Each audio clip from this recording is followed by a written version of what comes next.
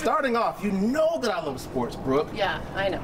I, but I just might not be as smart when it comes to sports trivia as I thought I was. I know, and it, look, okay, I know. I see where you're placing the blame, and it's on me. It is. I'm I the think game it was show the questions host. that she asked me. But listen, it was definitely the producers. I mean, there may have been, you know, kind of an unfair advantage for the other contestants because all of your questions were about sports pre 1940.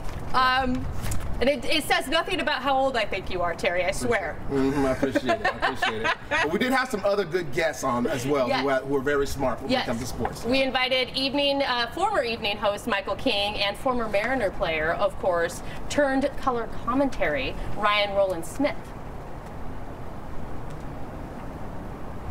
All right, you sports nuts. I came with pom poms because I'm cheering you all on in this.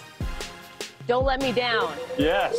You'll each get a question directed towards you, and you'll have five to eight seconds to answer it. All right, we're going to start with Michael King. What is the nickname of Olympic sprinter Florence Griffith Joyner? Not J-Lo. Flojo. Yeah, the original Joe, right? That's right. There we go. Point for And her Michael. fingernails. Remember those fingernails? Oh yeah. And the outfit, Really long fingernails. the one-legged outfit. That's right. All right, Terry, you're up next. This is a very simple question. How big is a baseball? About this big. Put Feels your hand on it like this big. Yeah. Like, is there actually there's a real life measurement? There is. There is a real life measurement, and you would like to know it's nine to nine and a quarter inches in circumference. Who would know that? Who knows that? And Ryan- Ryan five would know that. Or 5.1 maybe, five ounces, something like that. There we go. You, you Do I get a point, please? Did, do you know how big it was, Ryan? Good Did you know that? Maybe we'll No give idea. I seriously had no idea. You Another held way. many at baseball. There you go. Yeah. All right, Ryan, you're up. Oh, Raging good. Bull, the classic 1980 movie, is about which real life boxer? Ooh. Aye. Can I answer, Brooke? I got, I got it. I got it. No? Time do. limit. Uh, uh, it, uh, time's up on me. Okay, Michael, will you answer and give for your it. point to Ryan as a pity point? I will. Jake LaMotta. You're right. Look at that. Yeah. Robert De Niro, you mean, right? No, Jake LaMotta. Oh yeah, Robert De Niro. Yeah. I get it. He it. plays Jake, Thank right? you. Yeah. Yeah, yeah. Sorry. I'm not good with sports jokes, you guys. You're talking to the wrong person. All right, whose turn is it now? We're back to now. We're up to Michael King again. Yeah, that's right. Okay, at the 1976 Olympic Games in Montreal, gymnast Nadia Komacek. Comaneci. On. What is it? I actually Comaneci. interviewed Nadia once. Her, she, I asked her how to say it. She said Comaneci. Comaneci. There we go. Nadia Comaneci, but Comaneci she- became the first her. gymnast to score a perfect 10. Which country was she representing? Romania. Yeah, you that That's would have been really cheating. messed up if you got that wrong. Oh my gosh, Michael, you're doing good. You say he's cheating, Terry. Come on. He interviewed her, so that's cheating. I, Okay. I, I did interview. That's true.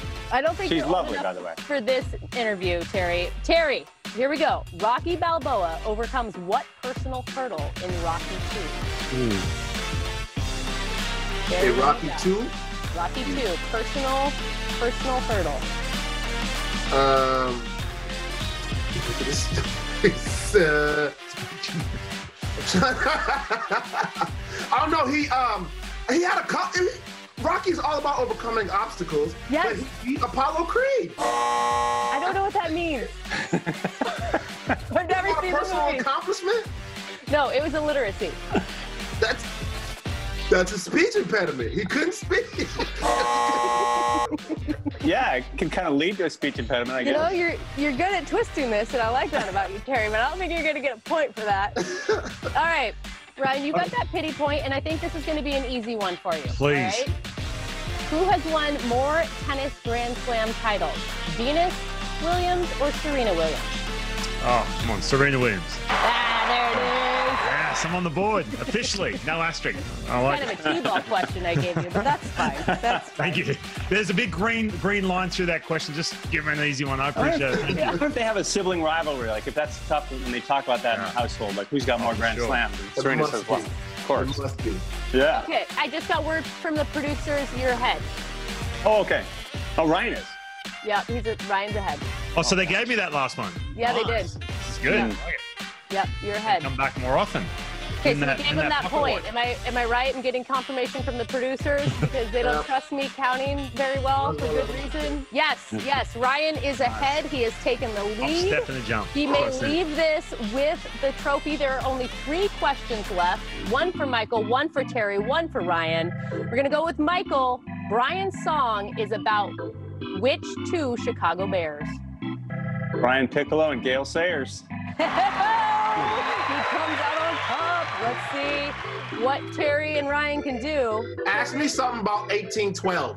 Well, yeah, yeah, yeah. Terry's got these ancient history questions coming up. I Here tell we you, go. there's no way you can win this, Terry, but it's fine. Uh, You know, I love your positive attitude, and that's what we're here for. What team has the longest winning streak in the NBA history? Chaka Khan. Team? I'm just saying anything at this point. I don't even care. the Golden State Warriors. the LA Lakers.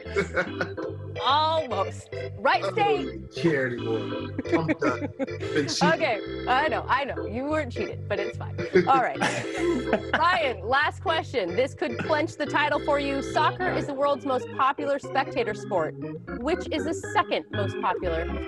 So he has to, if he gets this, he wins. If he doesn't, I win. Correct. Okay. If he gets it, he wins by half a point. And Ah. he's a worldly man. Uh, I'm gonna say. I'm gonna say uh, American football. Are you sure you want to say that? Tennis, tennis. Are you sure you want to say that? Uh, one of the above. I'm, I'm gonna stick with American football. How, how about that? All right. Well, I would like to congratulate Michael King because that is wrong, sir. The answer is cricket. Cricket, oh. Man, So- that's, dis- that's Yeah. It's disgraceful. Cricket, really? You- You're never going to be invited back. Oh, I should have my cricket country. jersey. I've got my rugby Yep. jersey. Cricket. Oh, whatever. I covered cricket once when I used to work in Hong Kong and I used to be a sportscaster there and I tried to cover cricket. I had to have other people write my scripts. I do not understand that game. What a humble winner he is. He's trying to make you feel better. I want a do-over. I want a do-over. That was not fair.